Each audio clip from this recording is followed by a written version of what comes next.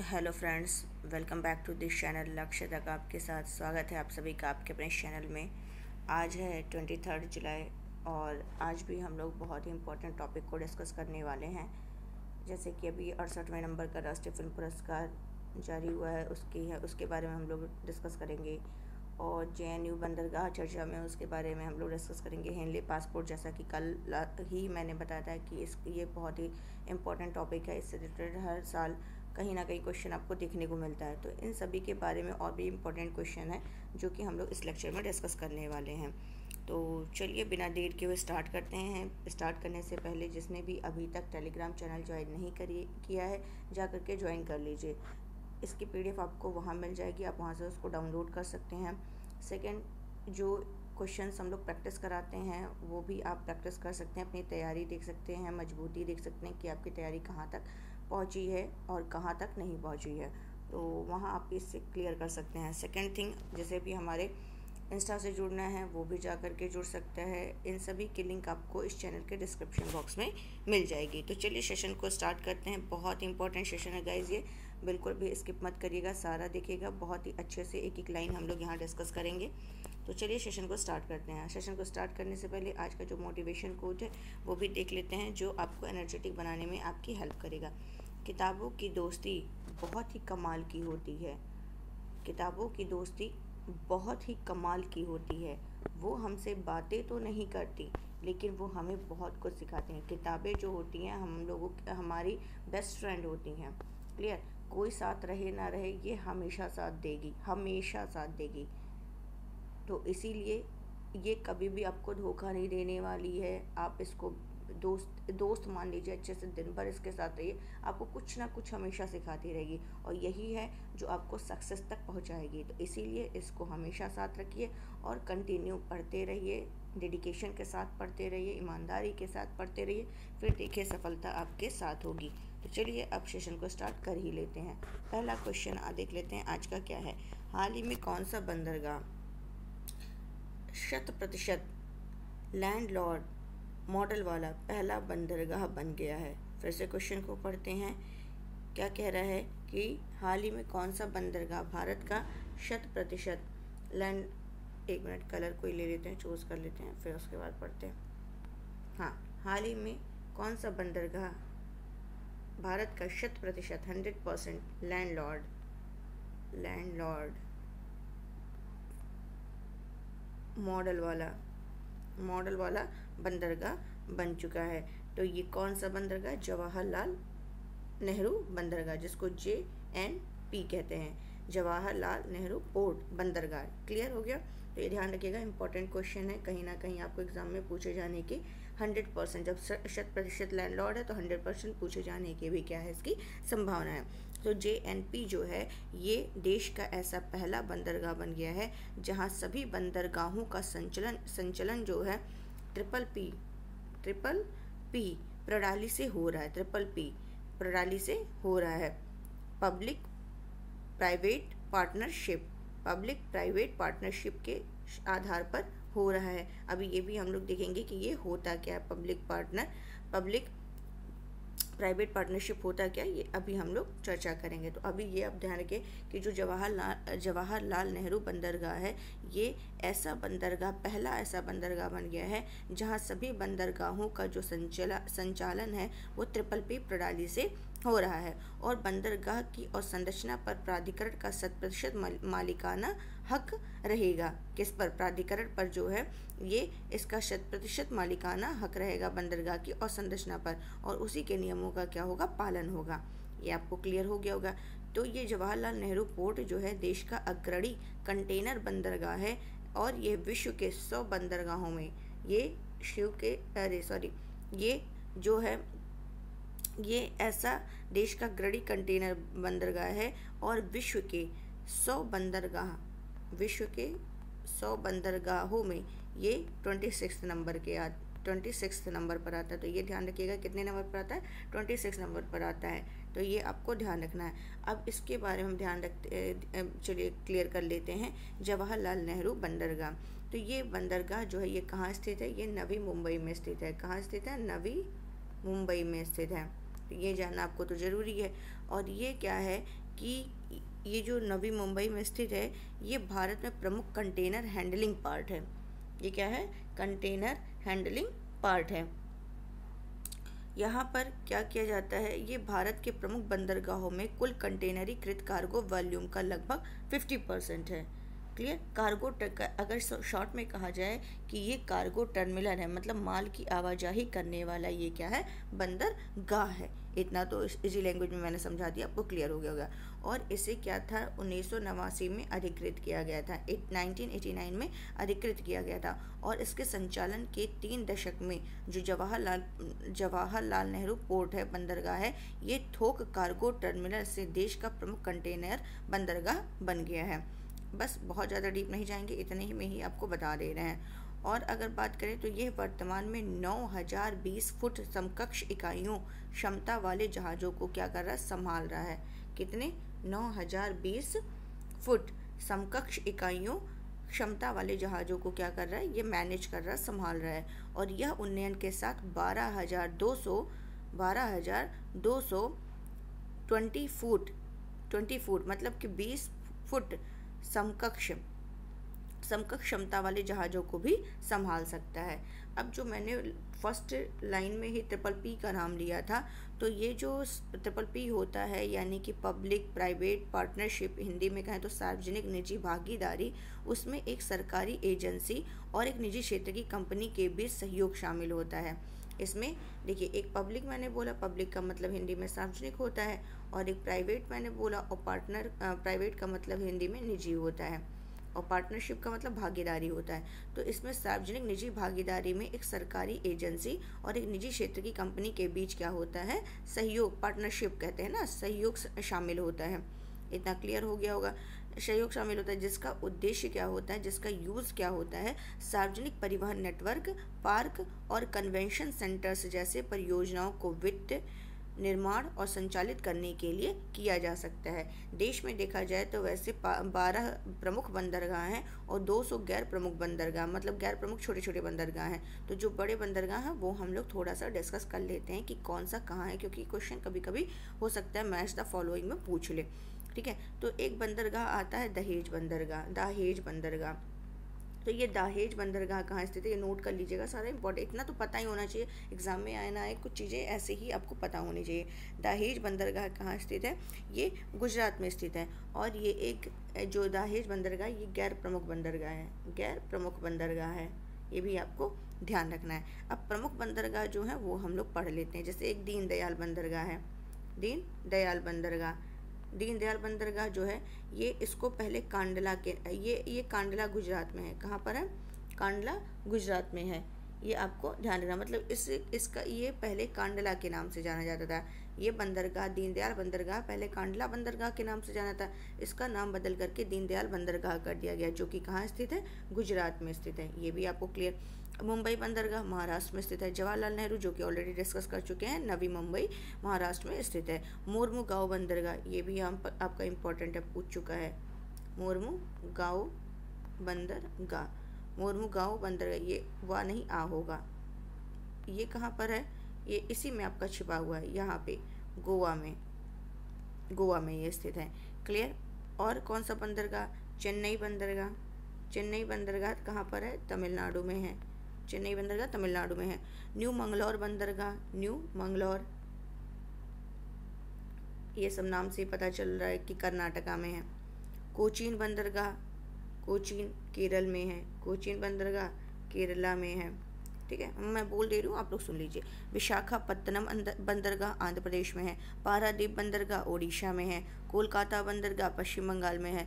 Haldia dock complex बंदरगाह, ये पश्चिम बंगाल पश्चिम बंगाल में कौन सा? हल्दिया डॉक कॉम्प्लेक्स कॉम्प्लेक्स मैं यहाँ लिख दे रही हूँ, Haldia dock dock complex complex. ये कहाँ पर है? पश्चिम बंगाल में है। और काम राजार बंदरगाह, एक है काम राजार बंदरगाह, काम राजार काम राजार बंदरगाह जो है, ये भी आपका कहाँ पर है? तमिलनाडु में है। और एक देख लेते हैं हम लोग। एक है बी ओ चिदम्बर नार बंदरगाह बी ओ, ये अलग अलग है। बी ओ चिदम्बरम चिदम एक मिनट। चिदम्बर चिदम्बर नार बंदरगाह ये कहाँ पर है? ये भी तमिलनाडु में है। तो ये सारे आपको ध्यान रखना, बहुत इंपॉर्टेंट क्वेश्चन है। कहीं ना कहीं ये पूछा जाएगा। चलते हैं नेक्स्ट क्वेश्चन की तरफ़। देख लेते हैं दूसरा क्वेश्चन क्या कह रहा है। ये भी क्वेश्चन आपका इंपॉर्टेंट है। इसको भी स्टार बनाइए।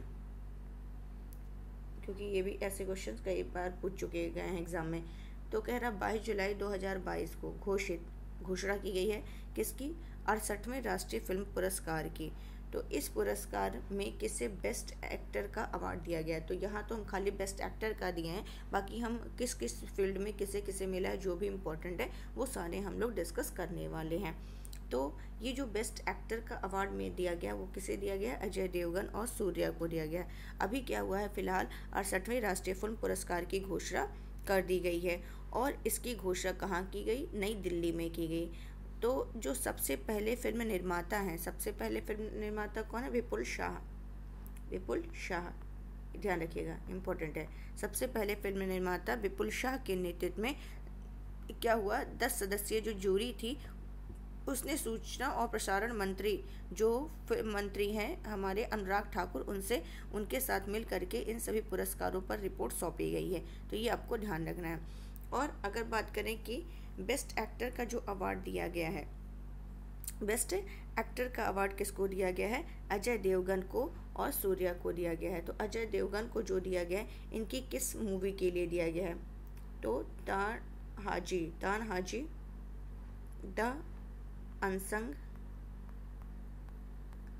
Tanhaji the unsung warrior note कर लीजिएगा इंपॉर्टेंट है, पूछा जा सकता है। Tanhaji the unsung warrior Ajay Devgn को इस फ़ील्ड के लिए दिया गया है, इस मूवी के लिए दिया गया है। और सूर्या को भी दिया गया है तो सूर्या को किसके लिए? इसी के नाम से ही मिलता जुलता है। तो इसको ज़्यादा रटना नहीं पड़ेगा आपको। सोरा रई। सोरा रई पोटरू। पोटरू, सोरा रई पोटरू मूवी के लिए सूर्या को मिला है।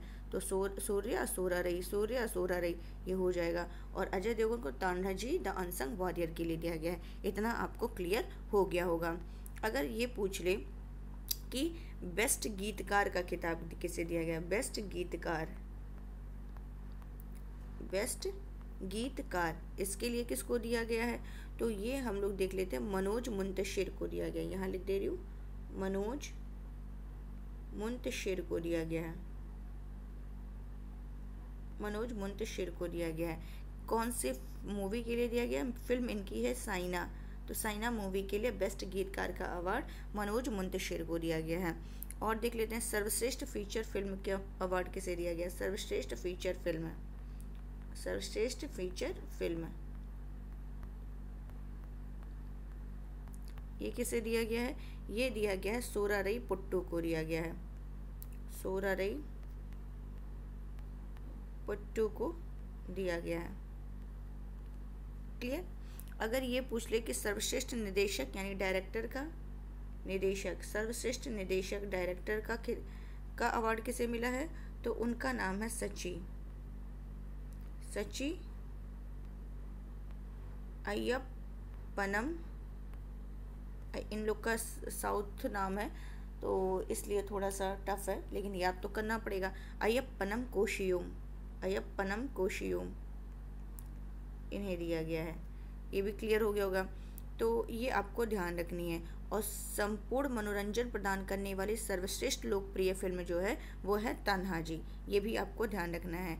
और अगर अभिनेत्री, सर्वश्रेष्ठ अभिनेत्री का पूछ ले अभिनेत्री पूछ ले, अभिनेत्री। ये भी ध्यान रखिएगा एक्ट्रेस का। तो ये हो जाएँगी अपर्णा बाल मुरली अपर्णा बाल मुरली इस किसके लिए दिया गया इनको भी वही सोरा रही पुट्टस। इसी के लिए इनको भी दिया गया है। तो आपको अच्छे से समझ में आ गया हो तो सारे नोट कर लीजिएगा, सारे आपके पूछे जाएँगे, कहीं ना कहीं इंपॉर्टेंट है। तो एक बार फिर से देख लेते हैं रिवीजन कर लेते हैं नोट कर लीजिएगा। मैं बोल दे रही हूँ, अब लिखूँगी नहीं। Best popular film Tanhaji Tanhaji, the unsung warrior best feature film का पुरस्कार, सोरा रई पोटरू, जो कि तमिल है। बेस्ट एक्टर का खिताब जो है Ajay Devgn Tanhaji the unsung warrior और सूर्या को सोरा रई पोटरू के लिए दिया गया है। बेस्ट एक्ट्रेस अपर्णा बाल मुरली को दिया गया है, सोरा रई पोटरू के लिए ही दिया गया है। बेस्ट हिंदी फ़िल्म, ये नोट कर लीजिएगा, best Hindi film. Best Hindi. Best Hindi film के लिए जो दिया गया है, वो तुलसीदास जूनियर को दिया गया। तुलसीदास जूनियर को दिया गया है।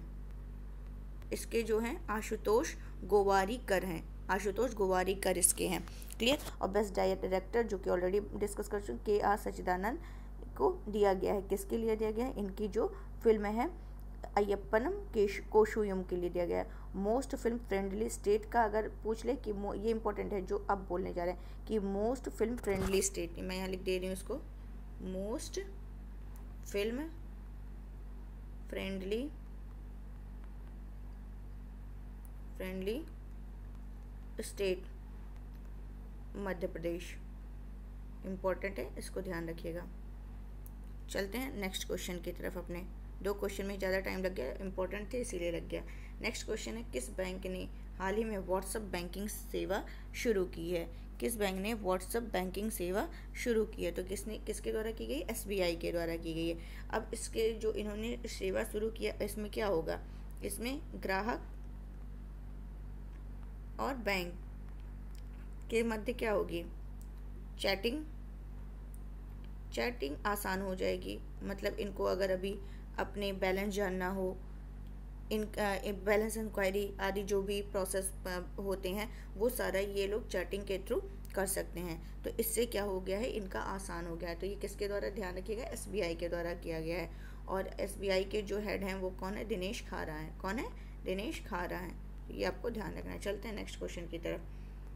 25 से उनतीस जुलाई 25 से उनतीस जुलाई 2022 तक प्रथम खेलो इंडिया फेसिंग वीमेंस प्रथम खेलो इंडिया फेसिंग वीमेंस लीग कहाँ आयोजित की जाएगी? तो कहाँ आयोजित की जाएगी ये? गैस नई दिल्ली में की जाएगी। नई दिल्ली के एक स्टेडियम है जिसका नाम है ताल कटोरा स्टेडियम। ताल कटोरा स्टेडियम। इसी स्टेडियम में ये आयोजित की जानी है, है कब? पच्चीस से उनतीस जुलाई तक आयोजित की जाएगी। और ये जो फेसिंग यहाँ पर लिखा हुआ है फेसिंग का संबंध किससे तलवारबाजी से। अब तलवारबाजी नाम लिया तो आपको याद आ गया होगा कि तलवारबाजी से किसी का संबंध है तो भवानी देवी जो कि फ़ेमस हैं, ठीक है? तो ये आपको ध्यान रखना है। तो फेसिंग वीमेंस लीग आयोजित की गई है कहाँ पर? नई दिल्ली के ताल कटोरा में। और अभी ये खेलो इंडिया से ही, खेलो नाम दे दिया तो खेलो से एक और क्वेश्चन याद आ रहा है कि खेलो इंडिया यूथ गेम्स का आयोजन कहाँ किया गया? पंचकुला, हरियाणा में। पंचकुला, हरियाणा में।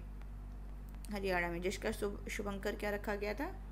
शुभंकर धाकड़ धाकड़ धाकड़, ये भी आपको ध्यान रखना है। तो सारे क्वेश्चन याद रखिए, बहुत इंपॉर्टेंट है।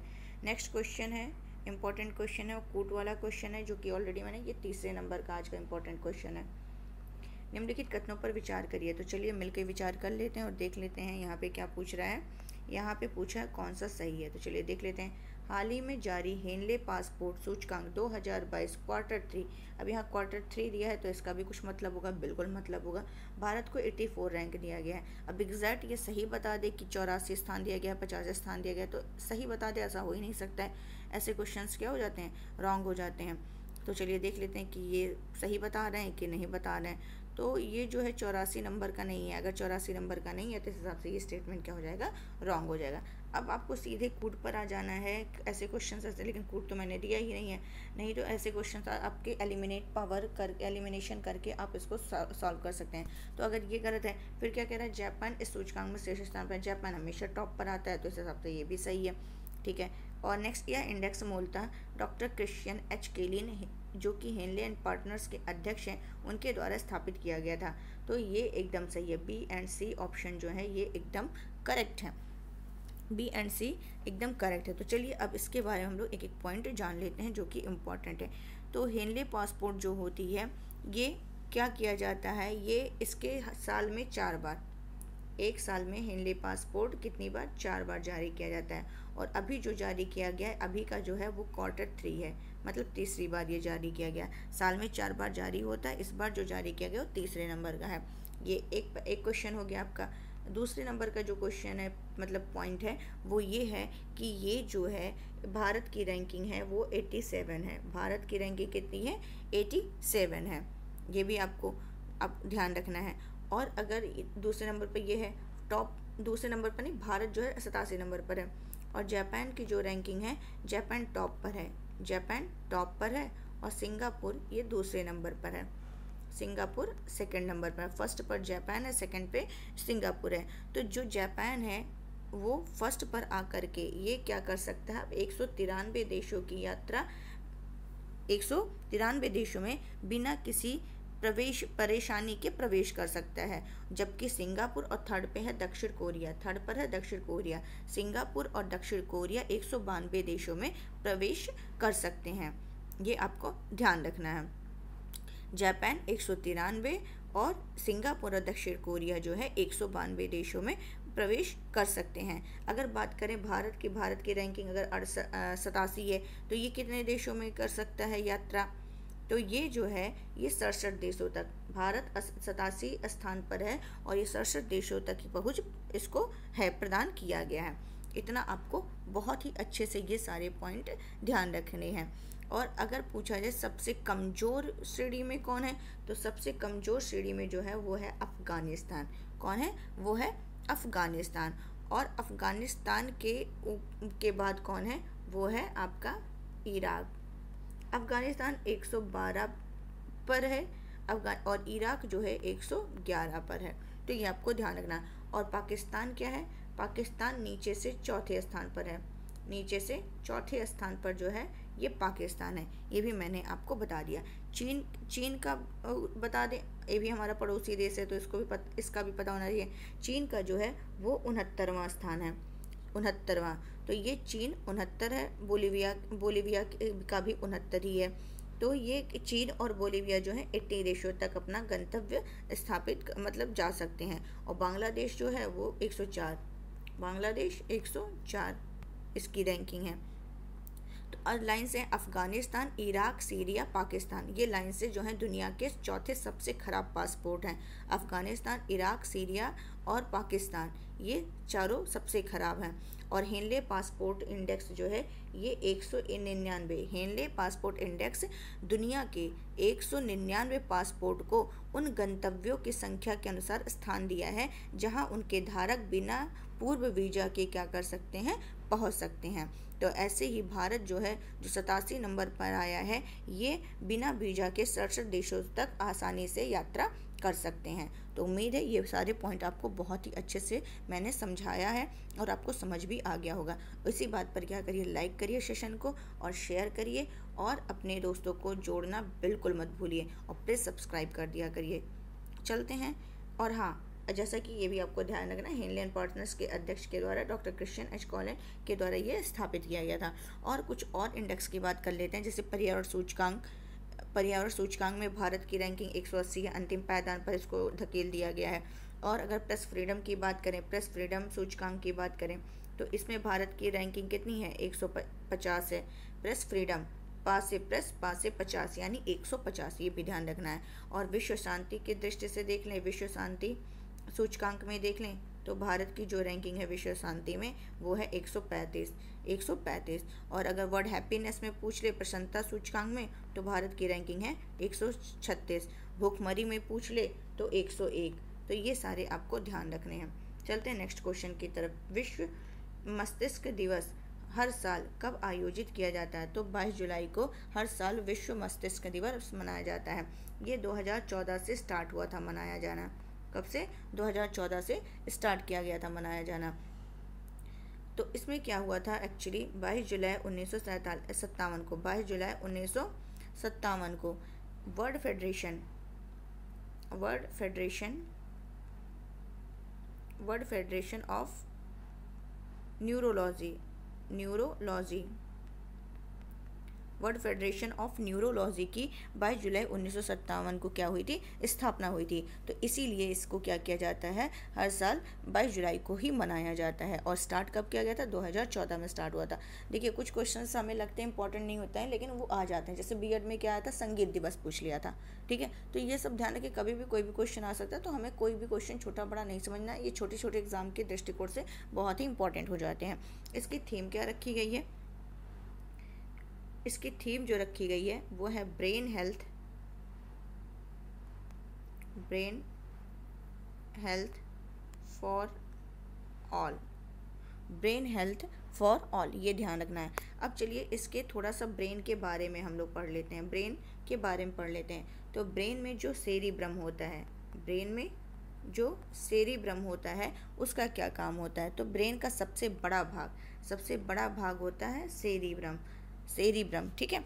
तो ये ये किसके लिए ज़रूरी होता है? ये याददाश्त के लिए जिम्मेदार होता है। इसका काम क्या होता है? याददाश्त याददाश्त के लिए होता है। और मस्तिष्क का जो दूसरा भाग होता है सेरी ब्लम सेरी बलम सेरी ब्लम सेरी बलम तो ये जो है, ये लर्निंग वाला पार्ट होता है। ये लर्निंग वाला प्रोसेस करता है। जो हमारी लर्निंग प्रोसेस होती है, वो सेरिब्लम करती है। मतलब कि मानव शरीर का संतुलन का काम और लर्निंग का काम और मानव शरीर का संतुलन, ये क्वेश्चन एग्ज़ाम में पूछा जा सकता है। मानव शरीर के संतुलन का काम और लर्निंग का काम कौन करता है? सेरिब्लम करता है। और एक आता है हाइपोथैलेमस हाइपोथैलेमस हाइपोथैलेमस तो ये जो है, ताप नियंत्रण वाला कार्य होता है, जैसे कि नफ़रत करना, लव करना ठीक है? और क्या कहते हैं कि गुस्सा करना, क्रोध करना, ये सारी चीज़ें जो है हाइपोथैलेमस में तो ताप नियंत्रण अपने को कंट्रोल करना, ये हाइपोथैलेमस आते हैं। तो ये भी आपको क्लियर हो गया होगा। टी ट्वेंटी एशिया कप 2022 का आयोजन कहाँ किया जाएगा? तो कहाँ किया जाएगा? संयुक्त अरब अमीरात में किया जाएगा। कहाँ किया जा रहा है? संयुक्त अरब अमीरात में। ये भी आपको ध्यान रखना है। और ये संयुक्त अरब अमीरात की बात करें तो यही एक ऐसा मतलब विश्व की पहली पेपरलेस सरकार जो है, वो संयुक्त अरब अमीरात ही है। तो ये भी आपको ध्यान रखना है। चलते हैं नेक्स्ट क्वेश्चन की तरफ़। किसे हाल ही में अंतर्राष्ट्रीय हॉकी महासंघ का कार्य अध्यक्ष नियुक्त, कार्यवाहक अध्यक्ष नियुक्त किया गया है? तो सैफ अहमद को नियुक्त किया गया किसे नियुक्त किया गया सैफ अहमद को नियुक्त किया गया पहले नरेंद्र बत्रा थे, नरेंद्र बत्रा, जो इन्होंने इस्तीफ़ा इस्तीफ़ा दिया तो इस्तीफ़ा देने के बाद जो कार्यवाहक के रूप में होंगे। कार्यवाहक किसे कहा जाता है? कि जब तक कोई इसका नया अध्यक्ष नहीं आ जाए, तब तक के लिए कार्य करना। तो कार्यवाहक अध्यक्ष के रूप में जो है, ये सैफ अहमद हैं, जो कि नवंबर 2022 तक इसको संभालेंगे जब तक चुनाव नहीं हो जाता है। तो ये भी आपको ध्यान रखना है। और ये सैफ अहमद जो हैं, ये कहाँ के हैं? इजिप्ट के रहने वाले हैं। इजिप्ट का मतलब मिस्र के रहने वाले हैं। चलते हैं नेक्स्ट क्वेश्चन की तरफ़। राष्ट्रीय ध्वज दिवस इम्पोर्टेंट है। राष्ट्रीय ध्वज दिवस। भारत में किस दिन मनाया जाता है? तो राष्ट्र, हर साल क्या करते हैं? राष्ट्रीय ध्वज जो राष्ट्रीय ध्वज है, वो ध्वज दिवस है, वो बाईस जुलाई को मनाया जाता है। बाईस जुलाई को। इतना तो क्लियर हो गया। इस दिन क्या हुआ था? जो तिरंगा था, तिरंगा, अपना, तिरंगा जो है, ये राष्ट्रीय ध्वज के रूप में अपनाया गया था। बाईस जुलाई कब? बाईस जुलाई उन्नीस सौ सैंतालीस को। बाईस जुलाई उन्नीस को, ये डेट याद रखिएगा इंपॉर्टेंट है। बाईस जुलाई उन्नीस को तिरंगा जो है राष्ट्रीय ध्वज के रूप में अपनाया गया था। और ये बताइए कि तिरंगा को का डिज़ाइन किसने किया था? तो पिंगली वेंकैया थे। उनका नाम था पिंगली पिंगली वेंकैया। एक मिनट वेंकैया। इन्होंने ही इसका डिज़ाइन किया था। डिज़ाइन पिंगली वेंकैया ने किया था। पह, और पहले क्या कुछ चेंजेस है तिरंगा में? बिल्कुल चेंजेस हैं। पहले जो था पूर्व में ये यहाँ पे चरखा बना हुआ था चरखा बना हुआ था। लेकिन अब के झंडे में क्या है यहाँ पे अशोक चक्र बना हुआ है अशोक चक्र बना हुआ है। तो ये आपको ध्यान रखना है। और 15 अगस्त उन्नीस सौ सैंतालीस को पहली बार पंडित जवाहरलाल नेहरू ने लाल किले से इसको फहराया था। तो ये सारे आपको फैक्ट क्या है ध्यान रखने हैं। चलते हैं नेक्स्ट क्वेश्चन की तरफ़। हाल ही में खबरों में रही कौन सी खबरों में रही? बंठिया आयोग। की रिपोर्ट किस क्षेत्र से संबंधित है? क्वेश्चन क्या कह रहा है? हाल ही में खबरों में रही बंठिया आयोग की रिपोर्ट किस क्षेत्र से संबंधित है? तो ये किससे संबंधित है?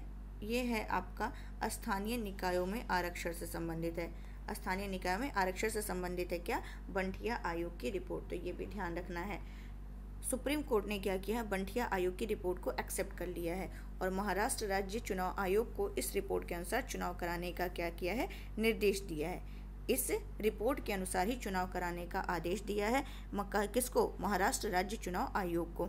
ये रिपोर्ट जो है राज्य में स्थानीय निकाय के चुनाव में जो अन्य पिछड़ा वर्ग है, ओबीसी है, उनके उम्मीदवार के लिए राजनीतिक आरक्षण का क्या करती है, मार्ग प्रशस्त करती है। और राज्य में स्थानीय प्रशासन के चुनाव में उम्मीदवारों को कितने परसेंट का आरक्षण मिलेगा? सेवन, ट्वेंटी सेवन परसेंट का आरक्षण मिलेगा। तो उम्मीद है ये सारे क्वेश्चन आपको एकदम क्लियर हो गए होंगे। चलते हैं, कल का हम लोग रिकैप कर लेते हैं। कौन श्रीलंका के नए राष्ट्रपति चुने गए हैं? रानिल विक्रम सिंघे चुने गए हैं। इक्कीस जुलाई 2022 को जारी इंडिया इनोवेशन इंडेक्स 2021 में प्रमुख राज्य की श्रेणी में कितने शीर्ष स्थान हासिल किया है? तो कर्नाटका ने। आई एस एस एफ़ निशानेबाजी विश्व कप 2022 में कौन सा देश शीर्ष पर है? तो वो भारत है। नौसेना, नवाचार और स्वदेशीकरण संगठन की पहली संगोष्ठी स्वावलंबन का स्वावलंबन कहाँ आयोजित की गई? नई दिल्ली में।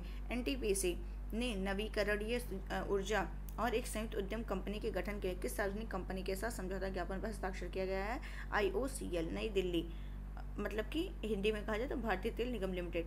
भारत और किस देश ने कुनो राष्ट्रीय उद्यान में चीता लाने के लिए समझौता ज्ञापन पर हस्ताक्षर किया है? तो Namibia beyond the misty veil temple tales of the Uttarakhand पुस्तक के लेखक कौन है? आराधना जौहरी जौहरी। आर्थिक मामलों की मंत्रिमंडलीय समिति ने तरंगा हिल अंबाजी आबू रोड, नई नई रेल लाइन के निर्माण को मंजूरी दी है और इसकी कुल लंबाई कितनी है? एक सौ सोलह दशमलव छः पाँच किलोमीटर।